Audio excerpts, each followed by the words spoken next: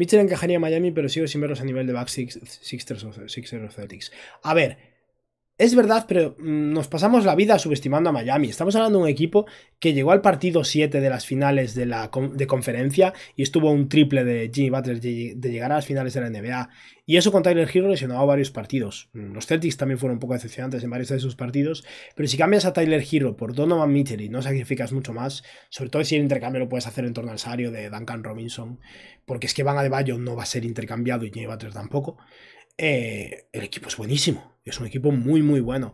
El tema es que yo no lo veo realista. No creo que mm, sea posible conseguir a Donovan Mitchell con un intercambio en el que el centro del intercambio sea Tyler Hero. Personalmente, yo no lo veo muy viable.